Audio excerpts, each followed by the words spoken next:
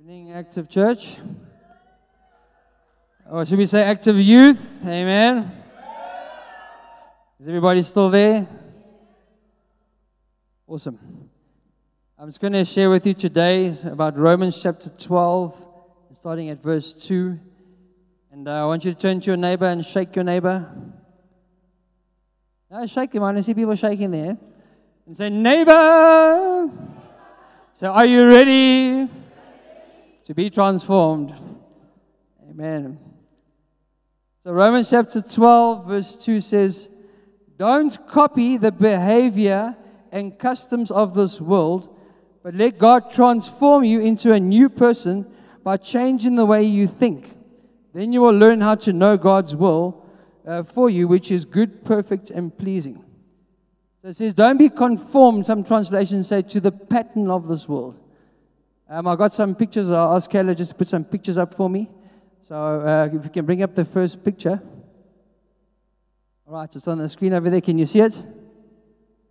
Okay, so I want you to choose a dot. And that's you. Okay, any dots? Now, why do I want you to choose a dot? Because if you think about life, right? We live in a world where over 7 billion people exist. You know, if you had to take 7 billion people and put them on a map and you had to try to find yourself, you won't find yourself. You realize that, eh? Uh, myself and my younger son is uh, actually blessing. We, we do a game called Where's Wally? It's actually like a comic book strip top thing. And then in that, you go to find a guy called Wally. It's a guy with like red stripes and red socks and red and white, and he's a weird looking guy with the big glasses. And they put him in these different backgrounds with lots of people. And then if you can find Wally, you win. And so you always go, there's Wally, there's Wally, and we, and we try and find Wally. I want you to think about that. We live in a society where you, you, you, you fit into the picture, and when you fit into the picture of this world, you look just like the world. You can't be distinguished from the world. You're like a dot amongst a whole bunch of dots, and you don't stand out. I want you to understand that God built you to stand out, and God built you, says His good, pleasing, and perfect will comes. But if you look like the world and your mind is not transformed, you and the world blend together. You don't stand out, you look the same. You know, some translations say um, um, conform, which comes from uniform. You know that you wear a uniform to school. You can tell the uniform of a school, and you can tell the school by the uniform, right? So I want to just ask him to just put the next picture on for us there. So that picture, if you put the dots together, makes a picture of what? What is that? It's the devil, yes. Satan, the devil, there's many names for him there. Now, I want you to think about it. In the world, the world is controlled by the devil. And how do you know who controls you? You're controlled by who you listen to, who you obey, right? So, your life is a, is a series of choices, and uh, you've made choices to get you where you are. And if you're unhappy, you have to change, right? So, if you don't want to look like everybody else who's controlled by the devil and he controls their thoughts, then you have to change the way you see and the way you think. Amen? We've got some more pictures over there. Was going to ask him to bring up the next one. Okay, this is now, when I grew up, a long time ago, when I was a, a young teen, uh, not a young teen, uh, a young adult, right? In my 20s and late, late 19s and 18s, many, many years back, I'm 42 now. Okay, when I was young and still clubbing, those days you were defined by the music that you listened to. And you could tell what type of music people listened to by the clothing that they wore. So if you look at that guy on the screen over there, that guy is what we used to be called a raver. So we never had house, you never had trance, you had rave music. And ravers were these type of people, you could identify them by the type of music that they listen to. And then I want to show you the next one. Scary, eh? Now that's what you call a goth.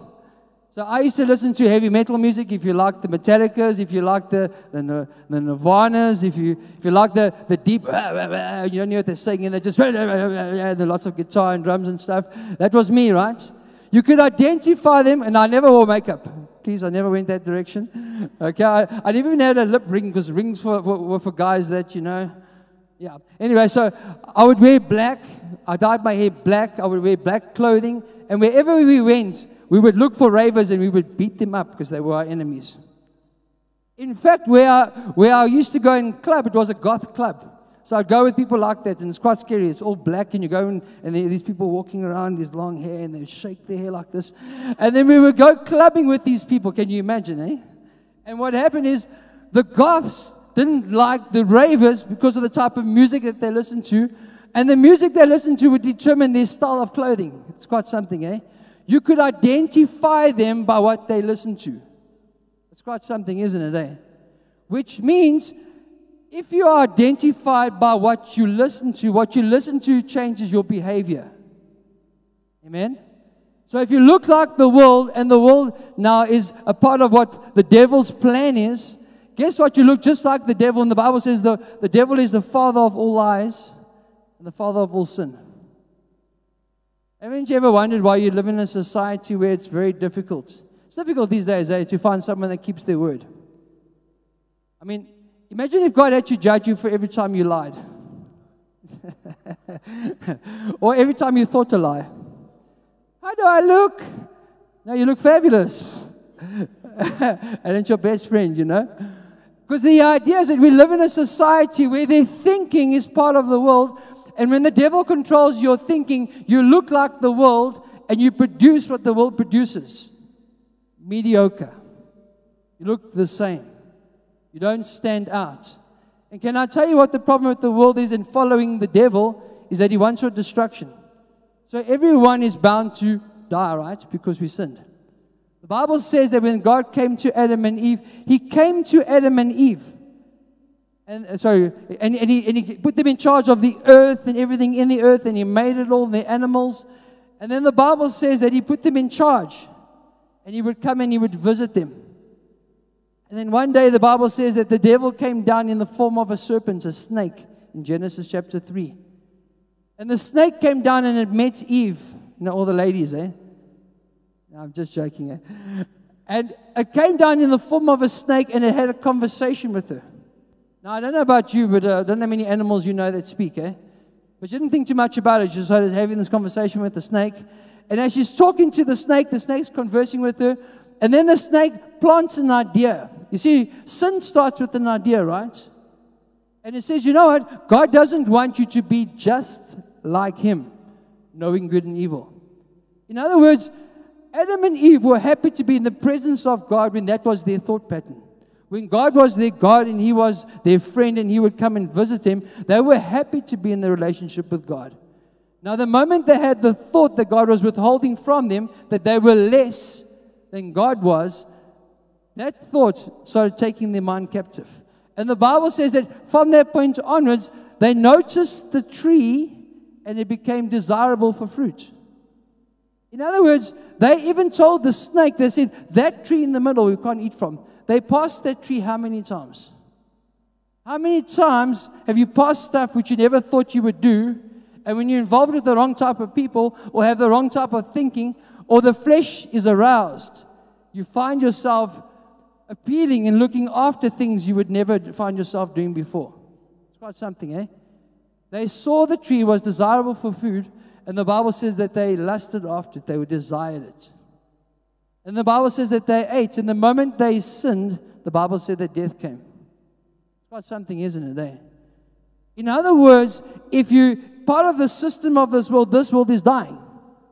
You know, I was telling some guys in my cell group the other day, you know, when you look at your father, don't laugh at him because you'll be him one day. We all get to that stage, right? Everything in this life is decaying, everything in this life is corroding. The world is corroding because of sin.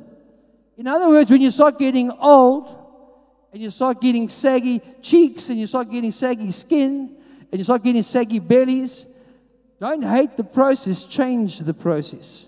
And the process comes by Jesus who died on the cross and set us free. Amen. I want to show you another picture there, if you can just bring it up for me. All right, there's another picture, a black dot.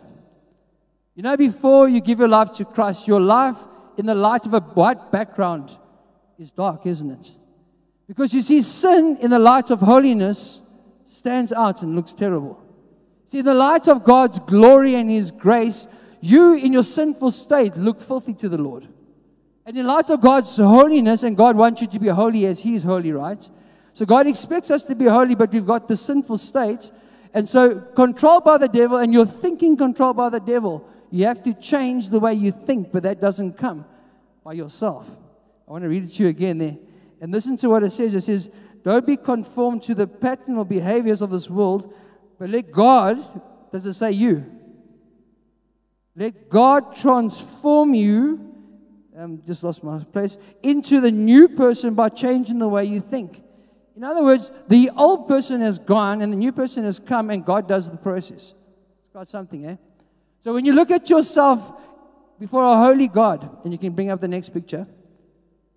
You see, when we come together as Christians, it's only through the cross that all of us can have any hope. You see, when you look at your sinful state, you have to take your sin and put it upon the cross. Because when you look at your sin upon the cross, now all of a sudden, your sin on the cross looks glorious.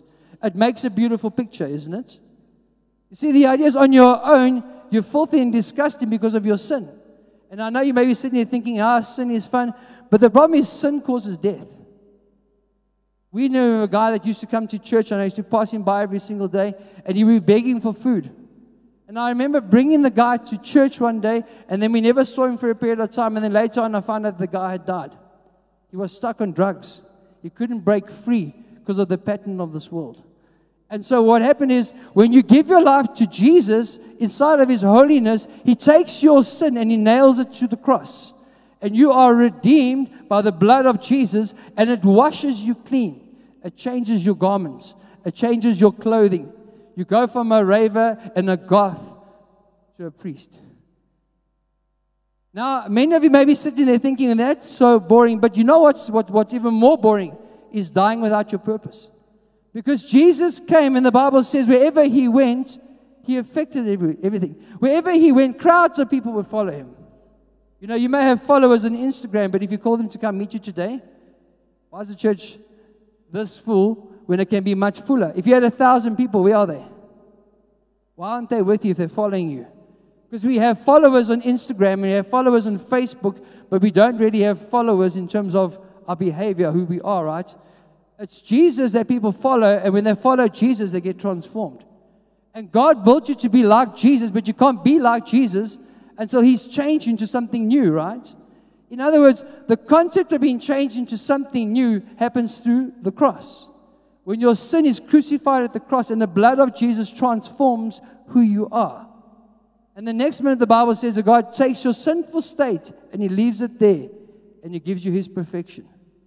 It's quite something, eh? I ran a cell group on Tuesday and I did an altar call. And there were different guys in, in that group young boys, older boys, older men. And uh, when I did the altar call, I said to them, It doesn't matter what you've done because when God sees you through the light of Jesus, He sees perfection. You see, we can never meet the standard.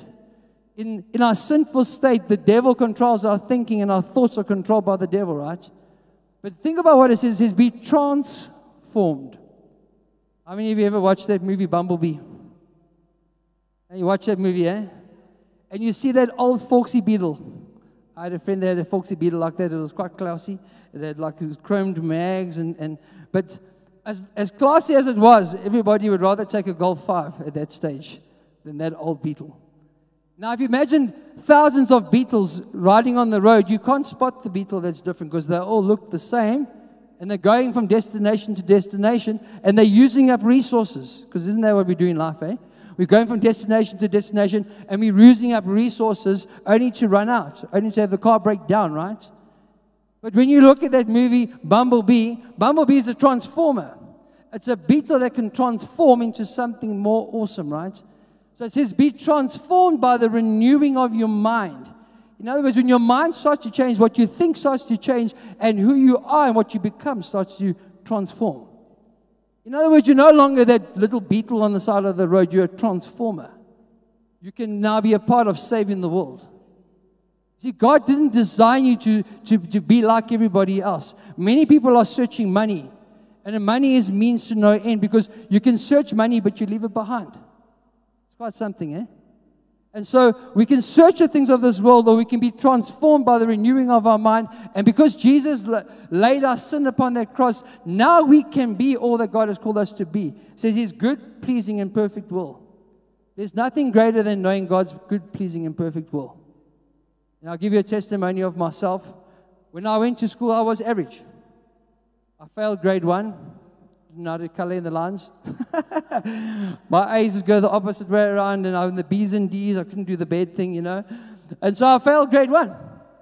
And then I, I was told I, I, was too slow for grade one, so they made me repeat it.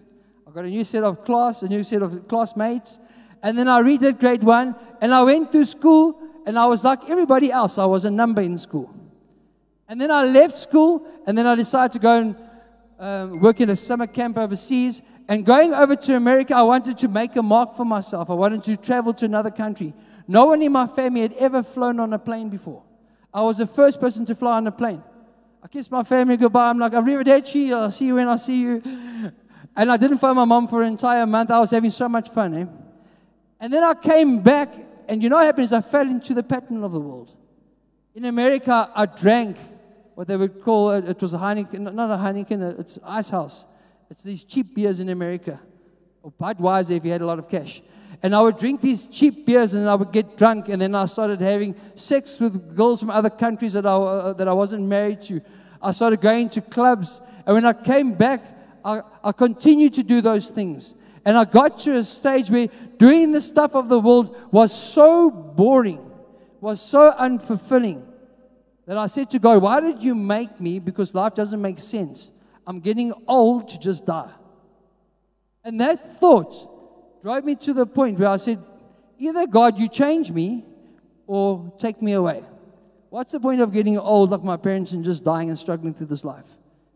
You know, in a moment where I had a conversation with God on a very cold night, I said to God, send something to show me that you're real. Because my mother believed, and I'd never seen God for real in my, in my life as something that was real. I went to a church service a week later. This guy preached, and he preached about his life, and it was just like mine. It's funny, eh? Because the pattern of this world is the same, isn't it? Eh? It takes sin and makes it common, and then we can relate to it. And some of us find comfort in our sin. We adopt it like it's our identity. But what happened is, I saw his life and I saw my life, and I thought, I don't want to live like that anymore. And he said to me, God changed me, he can change you. In that moment, I'm sitting there in a Methodist church, and I'm hot and I'm cold and I'm on fire. And God said to me, Give your life to me tonight because you're not going to have another chance. I don't know what would have happened if I never gave my life to Him. I never explored that option. But God told me this is your last chance. I gave my life to Jesus that night, and it wasn't even a month later, I saw Pastor Gavin. And at that stage, he was walking with the youth pastor of the church. And they walked in and they had this glow. There was like this glow around them. Eh? And I thought, that's so strange. I'm like, this man is glowing. you know, the Bible talks about Moses and then his face was shining. We read about it this morning in our devotion with, with Philip and his face was shining. They were staring at him. I saw, I saw Pastor Gavin and this guy, Kevin. And then they came and they sat down and they were talking. And as I came out, Pastor Gavin said to me, what are you doing? And I said, no, I'm working at a CD store. He says, don't you want to come run a Christian radio station? I was like, this guy doesn't even know me. Why does he want me to run a Christian radio station? I didn't sleep that night. And I thought, what would it look like if I ran a Christian radio station? I was a nobody from nowhere doing nothing. And the thought of running a radio station for Jesus excited me. I got involved in active youth. I started going around from place to place planting youth groups. And then I had a desire to preach. I came to Pastor Gabe. He critiqued my sermon twice and wrote it up. And I rewrote it three times. And I preached my first sermon and no one gave their lives. And I thought I'm going to give up preaching and Pastor Gavin encouraged me. He's like, no, don't give up preaching. And then I said, my, I, I did my second sermon, and, and the entire youth group gave their lives. And God said to me, I can use you even though you didn't have the ability to speak, and people can give their lives. And you know, that transformed my life. That God would use me to impact people. I want you to understand His good, pleasing, and perfect will comes by the blood of Jesus when He makes you new and He transforms your thinking. The devil wants to keep you mediocre. He wants you to live life flatlining until you die. But God has designed you to spend eternity with Him. It's quite awesome, isn't it? Eh? So, in understanding that, I want you to bow your heads and close your eyes. We want to give you all the opportunity right now. See, there's no point in us having this service if you don't preach to the gospel. Because the renewing of your mind comes through Jesus, who is the living word and the spoken word. And so, understanding where you are and where God designed you to be, sin doesn't have to dominate you anymore. So, even though you die in this life, you don't have to die the second death, the eternal death. God can transform you. But you can't do it by yourself. God has to do the transformation. And you got to decide I was going in this direction and I'm going to change and go in that direction. I used to follow the devil, but I'm tired of following the devil. I want to follow Jesus. If that is you right now, you can just raise your hand. So I see those hands, there's hands that are going up. You can just raise your hand right now. There's another hand over there. Don't allow the devil to deceive your thoughts. Don't allow him to identify you with himself. Because the devil himself, the Bible says, will get chucked into the lake of fire. You're not following someone that has your future in mind. You're not following someone that wants you to be empowered and encouraged. You're following someone that wants you to be in eternity with him in hell. Tonight, Jesus is appealing to you. He paid the price at the cross on every single level, and He paid the price so that one day, right now, today, you can have the offer and you can be set free. Don't allow this opportunity to pass you by. Just raise your hand one last time, and then we'll just pray with you.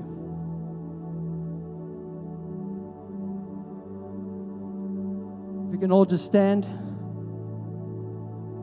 And those that have raised their hands, if you can just come to the front. Don't be embarrassed. Jesus took an embarrassing death for you. Amen. Give him, their, give him a hand as they come forward. Amen. Amen. Come on, give him a bigger hand than that. Amen. Amen. And if you didn't put up your hand and you still like to come, you can still come to the front. Amen. Right, we're just going to pray together with those that are here. And then they're going to take you outside and they're just going to let you fill in that, that card that you've got there. Just put your details in. We want to connect with you. We want to put you a part of a family because you need a family. We need people to come around you and to help you. We're just going to pray together. Are you ready to pray this prayer with me? Let's pray together. Say, Father God, I come before you and I give you my heart and my life. Today, I accept Jesus' death in my place. I thank you that all his blood was shed at that cross just for me. Thank you for dying on that cross for me. Today, I accept your free gift of eternal life and I accept that I am a new creation. The old has gone, the new has, the new has come. In the name of your Son Jesus, fill me with your Holy Spirit. Amen. Amen. Thank you so much. Give them all a hand. You can uh, follow Nolene over there. She's going to take you. Thank you. Give them a hand as they come out. Amen.